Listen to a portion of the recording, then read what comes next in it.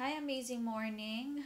I'm here to show you or teach you how to use or how to uh, prepare an OBS Studio for our trainings.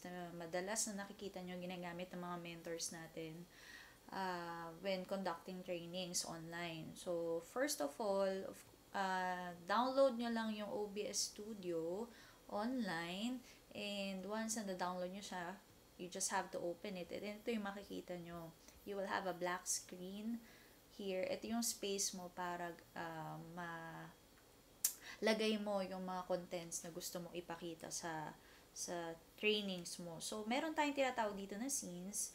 Ito yung uh, part kung saan pwede kang mag-shift uh, from intro up to yung content ng uh, IBP or trainings mo or kung may gusto kang mga isingit na mga ano pa, mga videos in the middle, pwede mo siya dito ilagay. So, First, ito katulad niyan.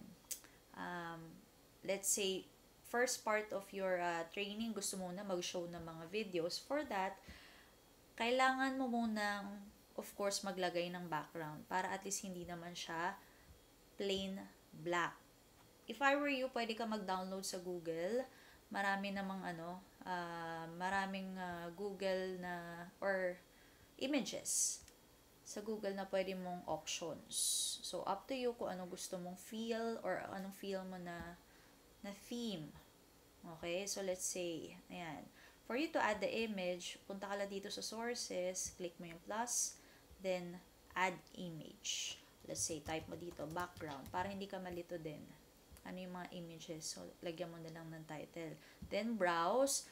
Papunta ka dun sa uh, file kung anong di-download mo. Let's say, let's use this one.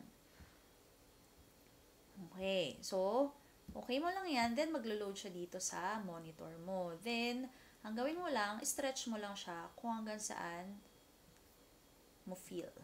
Diba? Kung saan mo gusto i-cover. So, stretch mo lang siya. And since may background ka na, ang gawin mo naman ngayon, if you want to add videos, let's say, um, pwede mo ilagay is ito um, media source for the video. So, let's say two-year plan. Okay. Pwede mo lagyan ng title or pwede hindi. Okay. Up to you.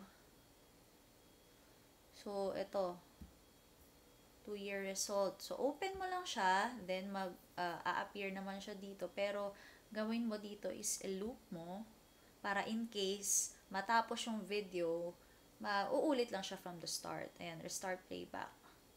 Then, show nothing. Kapag nakaklik to, ibig sabihin, after niyang mag-playback, magba-black lang siya or mawawala yung video. Ayan. So, check mo yung loop and restart. Then, okay. So, dito siya lalabas. Para adjust mo ulit, same thing. Ikaw na bahala kung gaano kataas or kal ka kalaki mo siya gagawin. So, minsan may mga videos na merong spaces sa taas, minsan naman wala. So, kung gusto mo siya i-edit, ako, ito recently, na ano ko lang siya, na na-figure out ko. To, punta ka sa filter. So, make sure na naka-red yung part na gusto mong uh, ayusin. So, right-click mo lang siya, click filters, then dito sa filters, merong tinatawag na crop. Okay? Then, okay mo lang siya. Dito, makikita mo, ano yung crop mo? Left side, top part, bottom, or right. So, sa top, nandun yung black space. So, pwede mong gawin, kunwari, 200. Nakita mo, from 20, may space to 200. So, try natin ng 150. Oh, that's 1.5 na. Try natin ng 100. Yan, may onting space. So, 120. Yan. Bottom, same thing, 120. Yan. So, pahaba na siya. Instead of kanina na may space, ngayon na-crop na siya. So, adjust mo lang kung hanggang saan mo gusto. And then, add add pa kung anong gusto, gusto mong uh, content na ilagay. Pero let's say, itong video lang yung gusto mo. Kahit wag mo nang lagyan ng background. Okay? Kung kunwari, gusto mo lang yung video alone lang. So, delete mo lang yung background mo. Are you sure? Oh. Delete mo lang siya, then adjust mo yung video mo.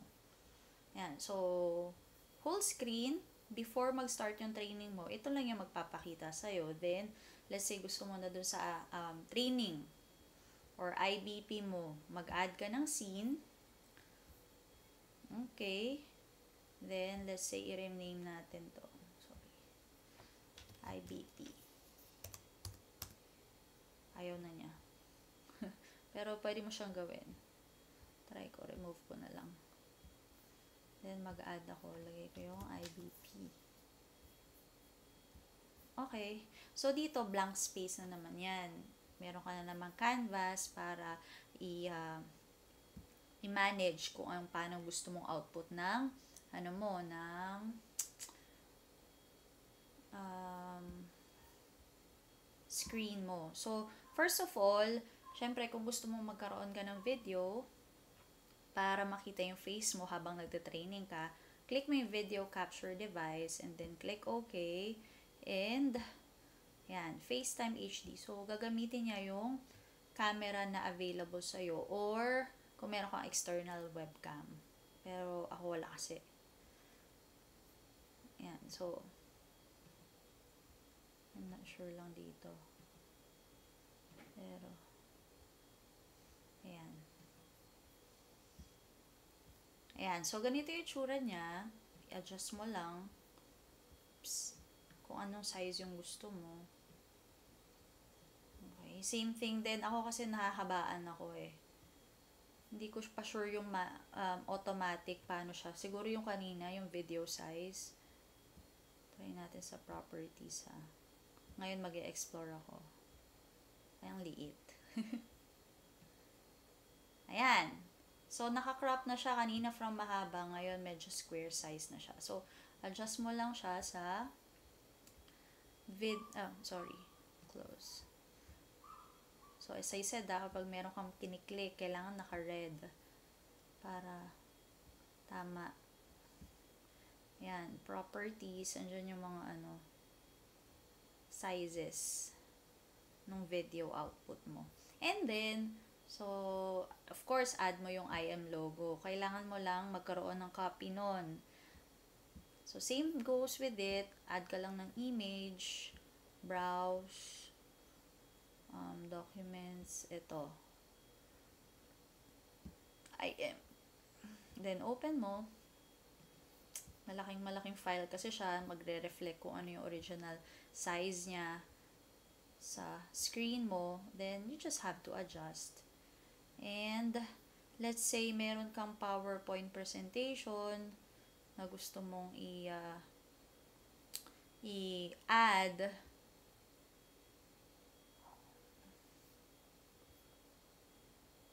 Ayan. So, let's say, ito. Gusto mong gamitin siya. So, for you to add your PowerPoint presentation, open mo siya, then, i-click mo na yung slideshow. So, naka-slideshow na yan. Tanggalin mo lang yung subtitle, pero pwede naman gamitin mo. Then, balik ka, command tab ka lang doon sa um, OBS na application. Then, add window capture. Okay. Then, dito mo makikita ko ano yung mga pwede mong gamitin. Like ito, yung PowerPoint ko na IM5.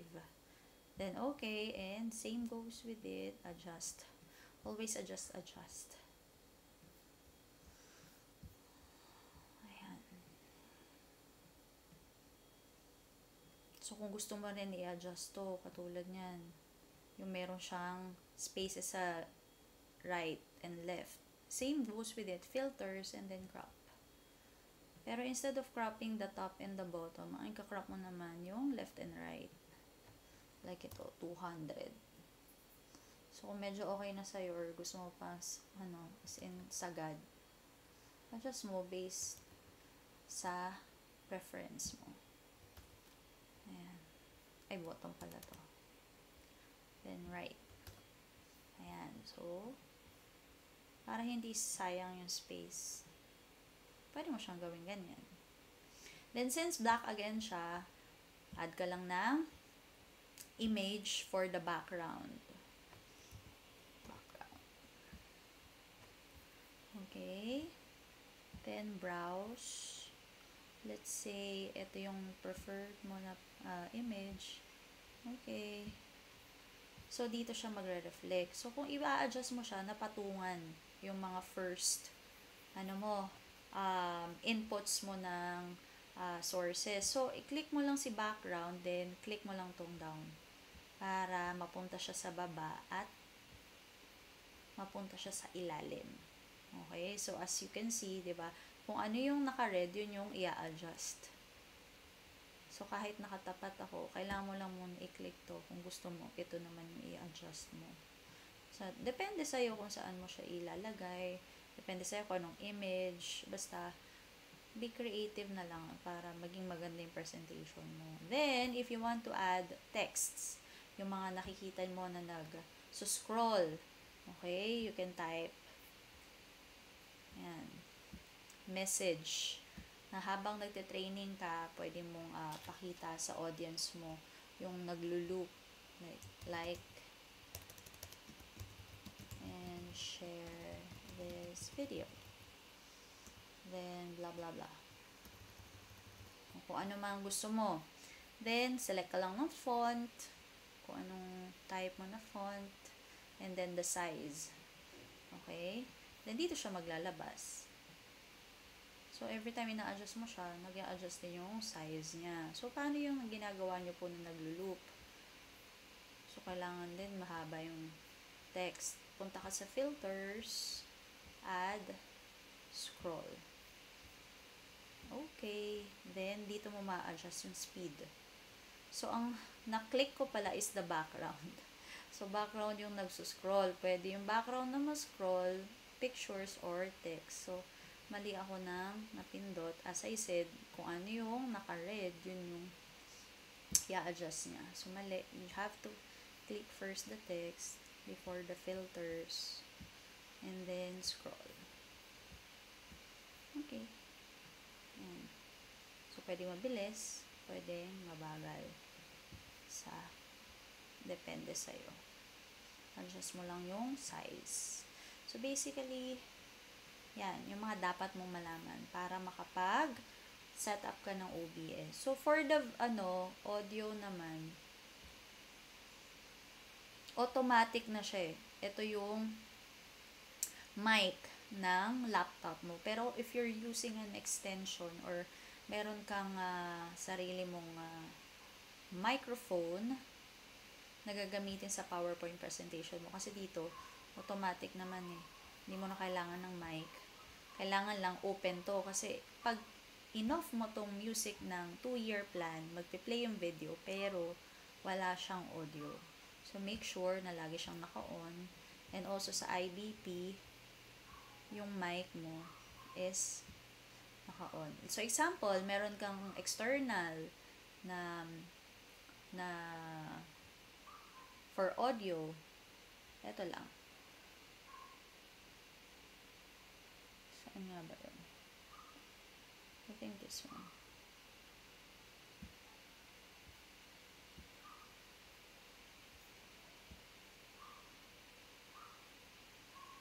Yan, external microphone.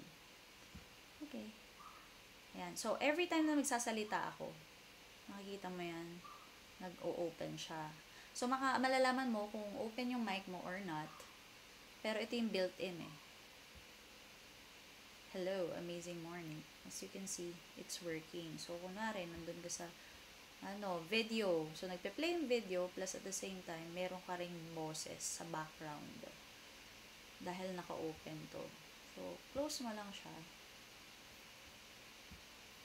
Then, sa IBP proper, andito na yung sa input mo. Pwede mo gamitin is headphones or headset Okay? Para mas malinaw instead of the built-in microphone ng laptop mo.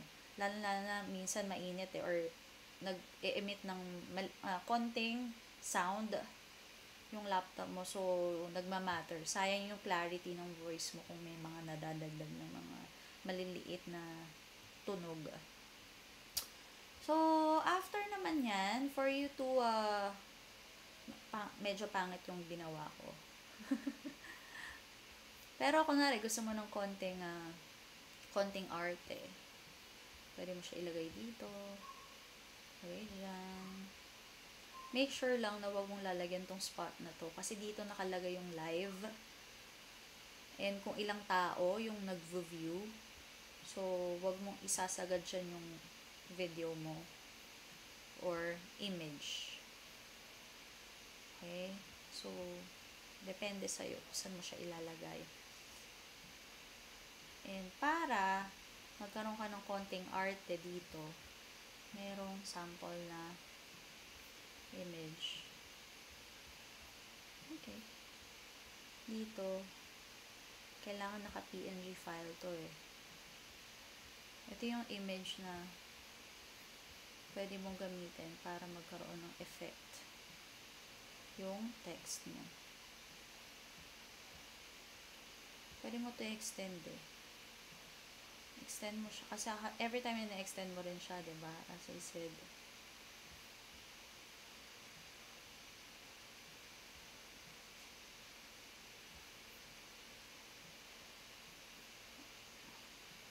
Lumalaki din. Kung gusto mo itong paliitin, kaso nga lang hindi na nakikita yung effect niya. Pero for the sake lang, na makita yung effect. So, para ano siya, hindi siya yung solid lang na in and outs meron siyang effect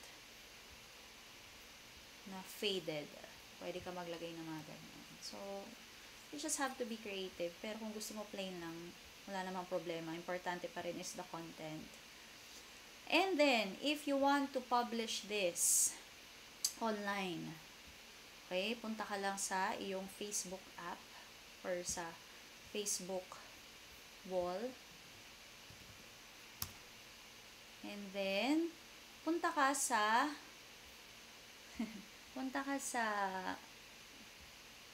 place kung saan mo gustong mag-live. Example, you want to live use your OBS sa live mo. Let's say, sa page mo. Okay? Ang gagawin mo lang is click mo yung publishing tools dito sa page mo. And then, pagdating sa publishing tools, punta ka sa Creator Studio. And then,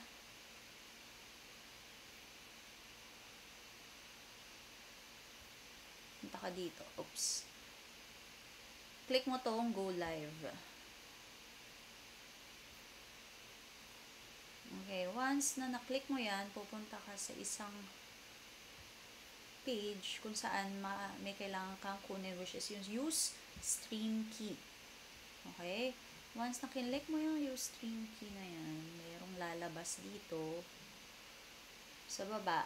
Hanapin mo lang to, you copy it, and then go back to your OBS, then punta ka sa settings punta ka sa stream, then make sure yung service mo is Facebook Live. You can also do other uh, apps like YouTube.